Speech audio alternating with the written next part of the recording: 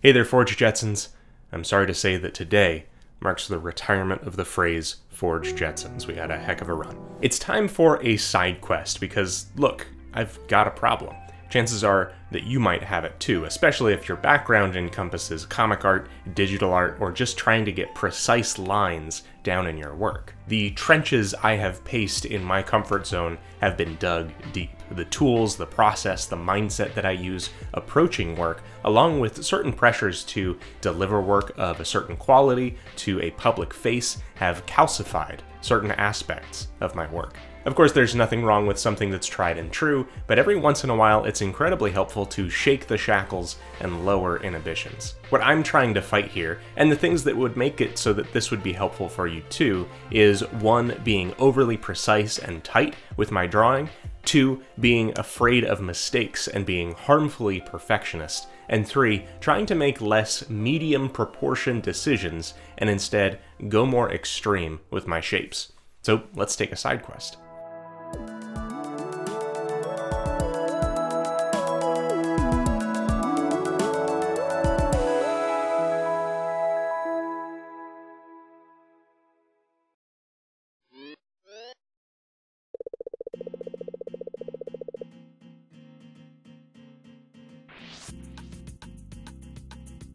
For our first star, I'm taking some advice and breaking out the Pentel Pocket Brush pen.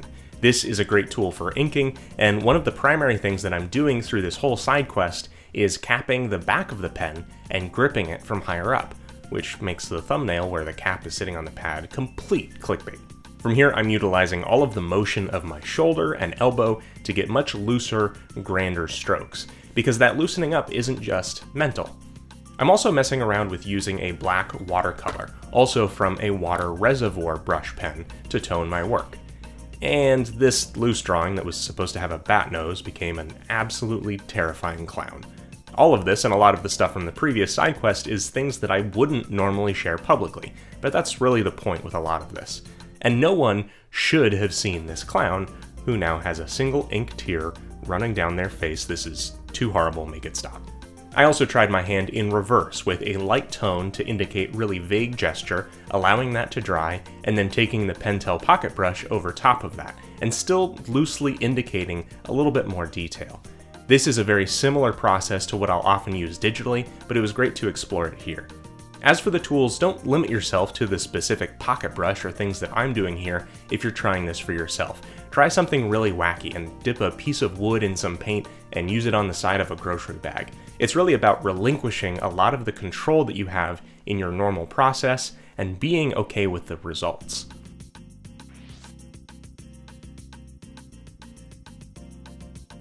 For our second star, I'm experimenting with the processes, but now with digital tools. I'm gripping the Apple Pencil from the base, using the Sketchboard Pro to get a larger range of motion, and using the VizDev pencil brush from the Retro Max Packs. As is the point of side quests in the first place, the result might not be very impressive, but the exercise is interesting and the slightest bit challenging. Both the relative size of the brush and the chiseled shape make it impossible to get precise or add in any detail. This ends up being a nice exercise in breaking you out of thinking that every single detail must be represented within an image.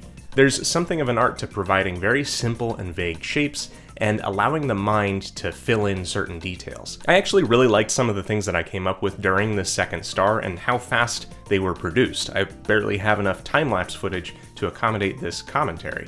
Off screen, I actually have started using this brush in some client work and items for Biko's backpack because the concepts are just made and available to tweak so much faster.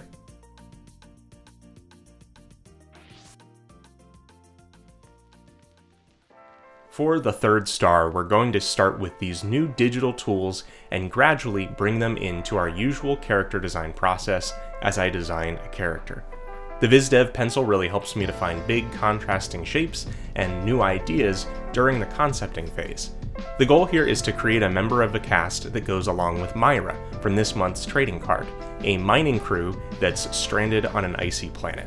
I started with the silhouette of a big, bearded, gruff alien, one of the concepts from that loose visualization stage was a pair of extra arms growing from his cheeks, kind of like prehensile tusks. I owe this wacky idea to not being so hemmed in during that early process. I played around with different expressions with these arms, letting them act like horns, standing up if he's angry, wrapping around the back of his head if he's relaxed, and generally letting them hang down when he's not using them. I like that it makes this character a little like someone in a larger mech suit, which likely helps with running mining equipment. He probably doesn't use utensils when he eats, and instead lifts the plate to his neck and then shovels food in with his smaller hands. In the final render, I made it so the material on his chest where the hands hang has patches of wear compared to the rest of the suit. The motion and distribution of these arms would be difficult if they were traditional human limbs because of the way they wrap against the face when they're upward, but because he's an alien, I think we can get away with the upper arms being jointed like a monkey's prehensile tail or an elephant's trunk, with only the forearms being traditional bone and muscle. Because of the beard and general primate aesthetic, I ended up basing him somewhat on Japanese macaques, with bright pink skin and gray hair. For the personality, I had Paul Sun Hyung Lee and his general demeanor sitting in the back of my head, and the goatee probably came from there. For the render to bring things home, I cleaned things up with my usual oval sketch brush, which I mentioned because the loose and messy start doesn't mean that it has to last to the final image. For the arms, I made sure that the forearms of the head hands are a lighter shade of pink, and the body forearms are a darker shade, just in case they're ever overlapping each other, the difference remains clear.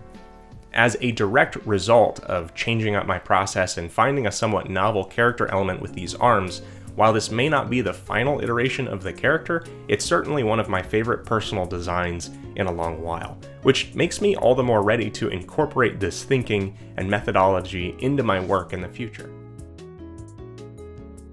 I've been loving these side quests away from my main bigger projects, and I'm excited at continuing to do them and to keep developing the cast for this particular story if you're interested in seeing more of them. Ultimately, even if you don't end up changing your long-term process, it's so healthy for an artist to stretch and see where new tools or ways of doing things will take you. My course Learn Character Design is available at learncharacterdesign.com. It's over 18 hours of a comprehensive character design curriculum. Even if you don't know how to draw or aren't proficient in drawing, we start you in a place where you can get confident in your ability. There's a new Biko's backpack for April over on patreon.com slash bageldenizen. It's a personal package of new original art that arrives in your mailbox. You can follow me at bageldenizen on Instagram, Twitter, Twitch, and TikTok. Thanks so much for watching, and have fun creating.